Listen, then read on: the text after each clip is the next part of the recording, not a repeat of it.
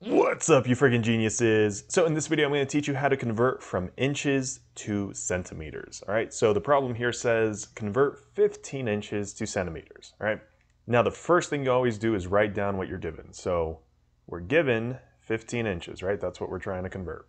Now, we're going to multiply this by a fraction, and I'm going to put this in parentheses. So what goes in your fraction here? Well, whatever relationship we can find between inches and centimeters. All right, so let's come up to our table up here, try to find something between inches and centimeters. So it looks like there's one right here, right? It says one inch is equal to 2.54 centimeters, okay? Now, what units go on top and what units go on the bottom? So a simple way to figure that out is whatever units you have up here, so inches in this case, is what's going to go in the bottom, all right? You always want your units on opposite sides from one another. So that's why since I have inches on top, these inches I'm going to put on the bottom, okay? So again, the relationship was 1 inch is equal to 2.54 centimeters, right?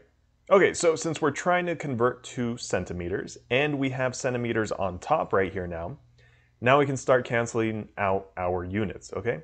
So we have inches on top and inches on the bottom, so those cancel out, okay?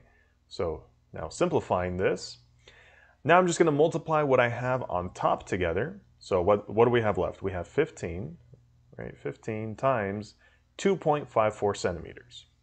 2.54 centimeters, okay? And then we're going to put that over whatever we have on the bottom over here, which is just 1. Okay? So, simplifying this some more, 15 times 2.54 is equal to 38.1. And don't forget your units, okay? We still have those, so centimeters. And then that's just going to be over 1, right? But 38.1 divided by 1 is still just 38.1. Okay, and don't forget your units, centimeters, right? Okay, so 15 inches is the same thing. It's equal to 38.1 centimeters. So if you found the video helpful, definitely leave a thumbs up down below. And if you have any other questions or want to see any other examples, just let me know in the comment section below. Also, there's a couple playlists attached that I think you'll find helpful, so definitely check those out, and I'll see you there.